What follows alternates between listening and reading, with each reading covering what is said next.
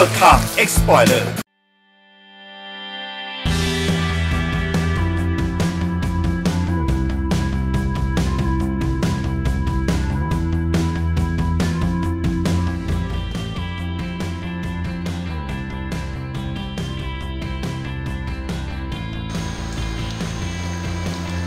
ตอนนี้ครับเหลือแต่ผมกับพี่ที่เป็นตชดเท่านั้นครับ ซึ่ง ตอนนี้ถ้ามองตามรูปการแล้วก็คงจะเหลือเพียงเราเพียงแค่สองคนเท่านั้นที่จะอยู่เฝ้ารอดูนกที่นี่ครับ เพราะว่าการเฝ้ารอดูนกที่นี่ต้องเงียบจริง ๆ เพราะว่าจะเป็นจุดนกเกือกรวมฝูงครับ เพราะว่าความอุดมสมบูรณ์ของป่าที่นี่เนี่ยค่อนข้างที่จะสมบูรณ์มาก การที่เราเข้ามาที่นี่ได้นั้น เพราะว่าได้รับอนุเคราะห์จากเจ้าหน้าที่ที่เป็นตชดเนี่ยครับ เพราะว่าเขาพาเราเข้ามาเพื่อที่จะให้เราเรียนรู้ว่าป่าที่นี่เนี่ยเราต้องช่วยกันอนุรักษ์ยังไง ถึงจะให้ได้ผืนป่าที่สมบูรณ์ที่สุดอันดับ 3 ของโลกครับ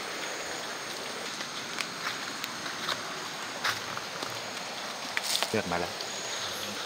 ใช่ไหมปั๊บปั๊บปั๊บเดี๋ยวผมไปดูนกเงือกก่อนนะ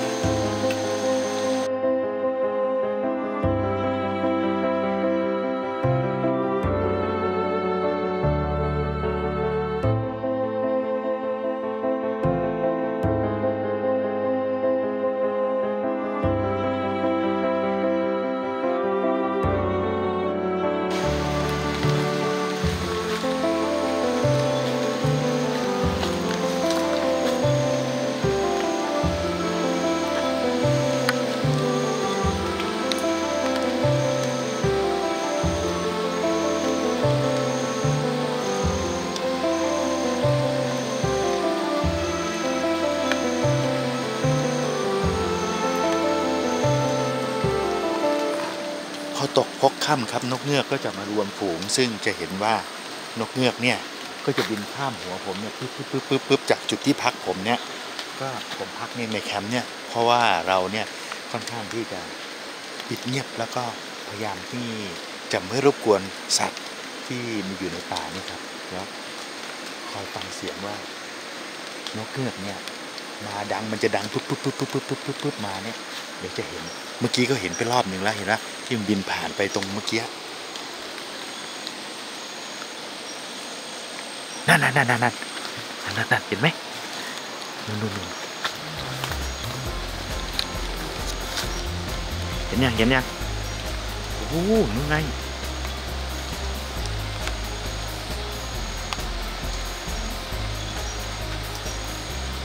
อันนี้คือจุดนกเกือกรวมฝูง นี่นี่นี่นี่อีกนิดนึงโอ้ยมาแล้วโอ้ยเยอะมาก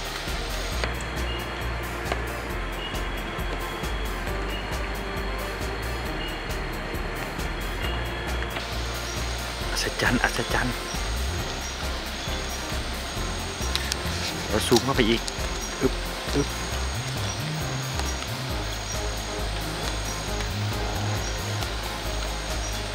อ๋อ มันไปพักอยู่ตรงนู้น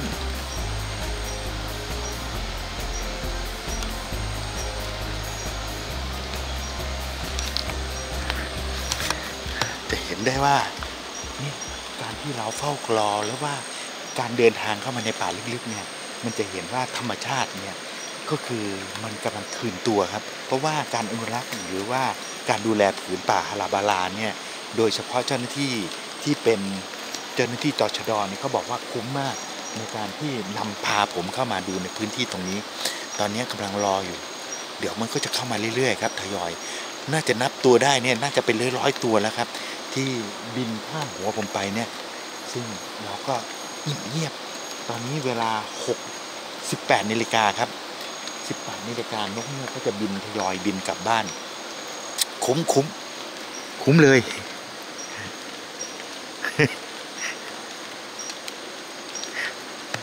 เมื่อกี้พากันนั่งทำกับข้าวอยู่ได้ยินเสียงนกบินผ่านหัวปุ๊บปุ๊บปุ๊บปุ๊บปุ๊บปุ๊บวิ่งเลย ต้องรีบมาดู เพียงแค่เสี้ยววินาทีหนึ่งที่เราได้เห็นเนี่ยก็เหมือนเพียงเสี้ยววินาทีหนึ่งที่เราได้เห็นครับว่านกเงือกเนี่ยจำนวนมหาศาลเนี่ยก็เป็นตัวชี้วัดได้เลยครับว่า ป่าที่อุดมสมบูรณ์ที่สุดเนี่ยก็คือนกเงือกเนี่ยเขาจะสร้างบ้านบนบนต้นไม้ใหญ่ครับ บนต้นไม้ใหญ่เท่านั้น ต้นไม้เนี่ยใหญ่ๆอย่างเงี้ยแล้วก็จะทำบ้านเจาะรูเข้าไป ถ้ามีโอกาสเดี๋ยวผมจะพามาอีกรอบหนึ่งเพื่อที่จะมาเรียนรู้การทำ บ้านนกเงือก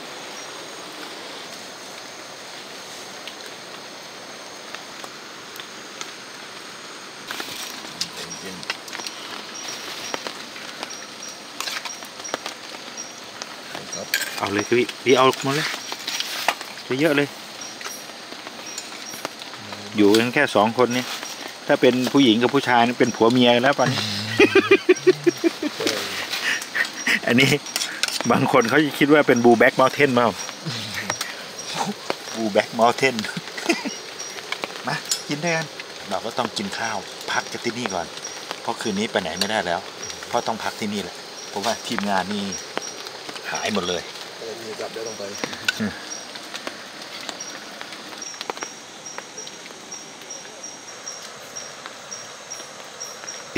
โอ้เค็มมากผมใส่กระดาษไม่เป็นไรพี่ผม เชื่อว่าตอนนี้อร่อยอืมนี่เดี๋ยวไปปรับเมนูนะผมเชื่อว่าตอนนี้หิวหิวๆเหนื่อยๆวันนี้อร่อยตำเครื่องไว้รอเลย กินปลากระป๋องเดี๋ยวพรุ่งพรุ่งพรุ่งพรุ่งนี้เช้าเดี๋ยวเราดำปลากันครับเซ็กซี่อย่างเลยว่าทีมนี้ทานกันเลยครับผมถึงฐานก็น้ำตาจะไหลแล้วไม่ได้กับข้าวก่อนปิดแล้วเดี๋ยวเราเราเซ็กซี่อย่างเลยน้ำเดี๋ยวก็นอนได้แล้วครับเออขาดน้ำไม่ได้ดื่มเลยเลย ไหน เดี๋ยวเดี๋ยวเอาน้ำนี่มาต้ม พวกน้ควรถ่ายกระเจียวด้วยำเบื้องหลังเปลี่ยนนี้ไม่ใช่ปิงนะครับ โอ้ยประหยัดดีครับมันมีเหรอปิงอะนะไว่าดักแด้มั้งเนี่ย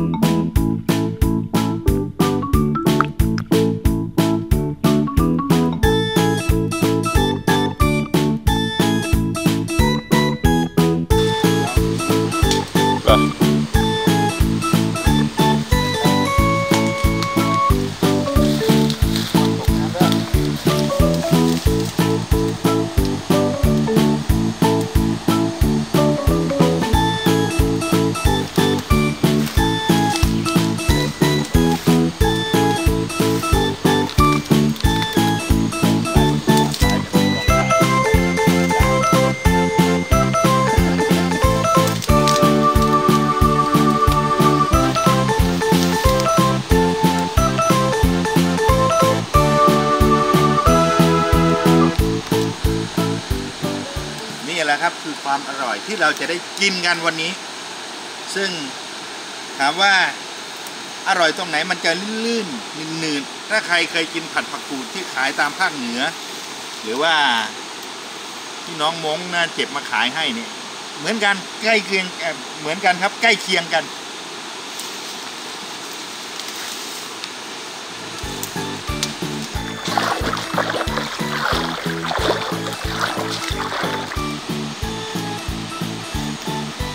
ปเพียงพอแล้วล่ะครับสำหรับอาหารมื้อนี้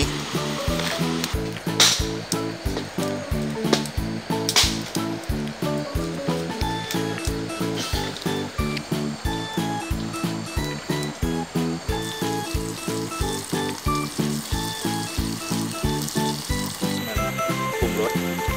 มาในป่าเราเสือกปรุงรสอะไรเงี้ยเราก็ปรุงไปก่อนใส่ก่อน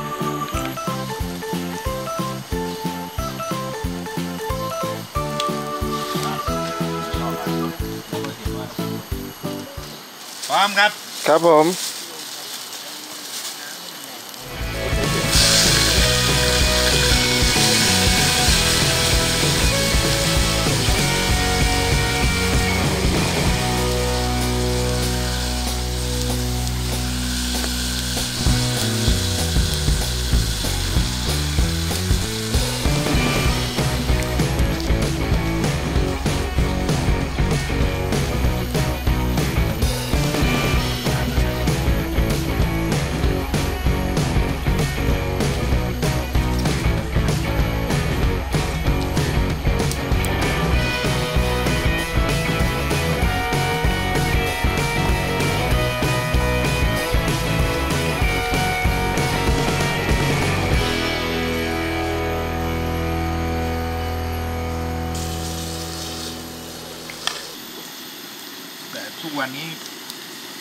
เจอพ่อค้าหัวใสเอาเจาะน้ำจากใต้ดินมาแล้วก็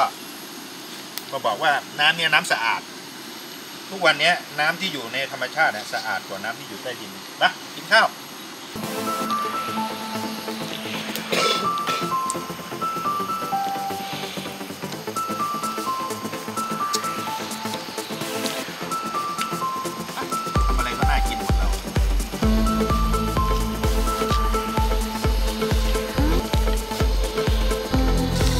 ให้ทายว่าอันนี้คืออะไร อันนี้คือไข่เจียวครับ ในลักษณะการเดินป่าของ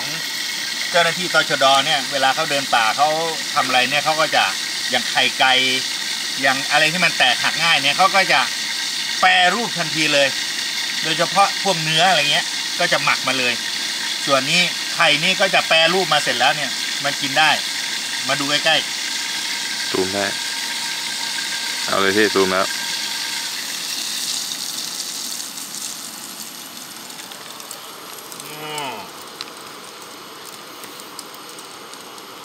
นิ่งจัง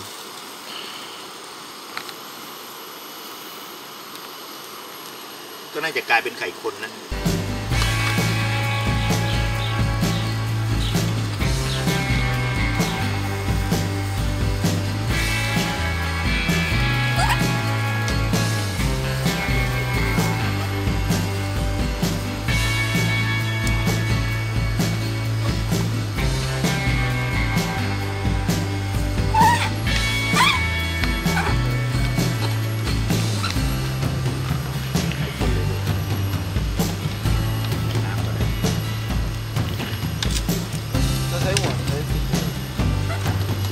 สองไปเลย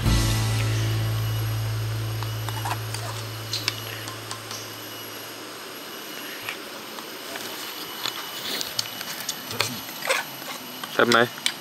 ไม่น่าเชื่อว่ากูทำไข่แบบรู้ว่ามันอร่อยได้ ไม่น่าเชื่อว่าเราทำไข่แบบโกโลโกโสเนี่ยมันก็อร่อยได้ต่อให้เชฟนู่นเชฟนี่มาอยู่นี่นี่ก็ทำอร่อยไม่เท่ากับเรา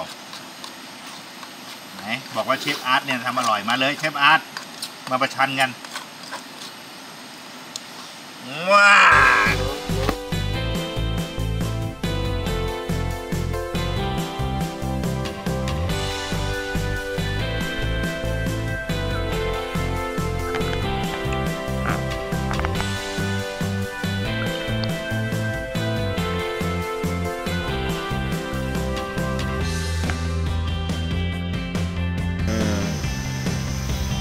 แนวนี้มันเสียงพี่ป้อนนะครับครับดีไหมครับนี่ครับ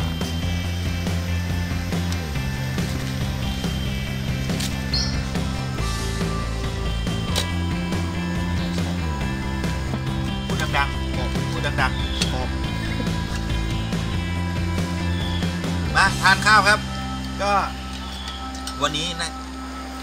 ได้ยินเสียงนกไหมไม่ใช่ ไม่ใช่นะใช่ใช่อื้อหือ เป็นข้าวมื้อสำคัญสำหรับมื้อเช้าครับสำหรับเพื่อที่จะเลี้ยงทีมที่หลงทางเมื่อคืนนี้เราก็จะได้ทานด้วยกันพี่ปอนครับป่าพื้นเนี้ยในการทำงานของเจ้าหน้าที่ตชดเนี่ยดูแล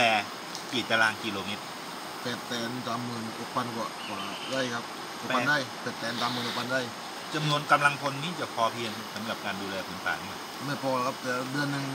เราตระเวนเดือนละสองครั้ง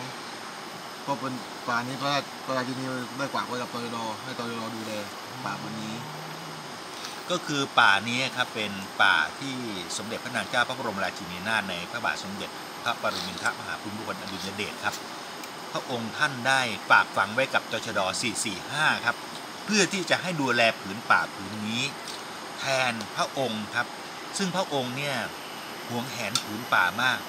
ซึ่ง ในพระราชดำรัสของสมเด็จพระนางเจ้าพระบรมราชินีนาถในพระปรมินทรมหาภูมิพลอดุลยเดชเนี่ยพระองค์ได้ตรัสไว้ว่าเราจะเป็นป่าและในหลวงเนี่ยจะเป็นน้ำและนี่แหละครับคือสิ่งที่พวกเราควรระลึกถึงเสมอว่า สิ่งที่เจ้าฟ้าเจ้าแผ่นดินเนี่ยได้ฝากฝังไว้ให้กับเจ้าหน้าที่ดูแลเนี่ยเราก็ต้องมาช่วยเจ้าหน้าที่ดูแลด้วยครับ เพราะว่าไม่ใช่จะปล่อยปิน ไม่ใช่จะปล่อยเป็น เฉพาะหน้าที่ของเจ้าหน้าที่ ดูแลป่าแค่นี้ ในส่วนอื่นเนี่ย การดูแลเนี่ยเราต้องการอะไรเพิ่มหรือว่าเราไม่ต้องการอะไรเพิ่ม เราแค่สละชีวิตเพื่อที่จะดูแลผืนป่าแค่นี้ คือเขาสัตว์ไว้ว่าอดต้นดำรงตนอย่างมีเกียรติเท่านั้นละอดต้นดำรงตนอย่างมีเกียรติครับมันไปที่ฐานที่เล็กกันเลยอดทนดำรงตนอย่างมีเกียรเท่าตินั้นละอดต้นดำรงตนอย่างมีเกียรติอย่างอย่างนั้นในการปกป่าตรงนี้ ทุกคนที่เข้ามาอยู่นี่เดือนหนึ่งนี่ อยู่กี่วัน ปกติจะอยู่วันยี่สิบยี่สิบวันแล้วก็สิบวัน20วันแล้วก็พักอีก10วัน ครับ ก็เหมือนก็ก็ไม่ต้องหยุดเสาร์อาทิตย์ใช่ไหมไม่มีก็คือไม่มีปกติมันก็จะหยุดข้าราชการก็จะทำงานเอ่อเอ่อวันศุกร์ถึงวันจันทร์ครับ ใช่ไหมใช่วันจันทร์ถึงวันศุกร์แล้วก็หยุดเสาร์อาทิตย์แต่นี้เราก็รวมวันรวมวันหมดเลย รวมวันหมดเลย ครับ ก็มาตีค่าเฉลี่ยแล้วก็เท่าๆกับหยุดข้าราชการทั่วไป ใช่อันนี้เราทำงานไม่มีไม่มีวันหยุดไม่มีวันหยุด แต่ที่สำคัญคือ 24 ชั่วโมงที่เราต้องดูแลป่านี้ใช่ครับแล้วถ้าไม่มีลูกเมียนี่ก็สบายนะใช่คแต่รับถ้ามีลูกเมียนี่ก็ต้องลำบากใจหน่อย ใช่แต่เอายังไงก็ตาม เรามาทานข้าวด้วยกันครับครับมาเร็วค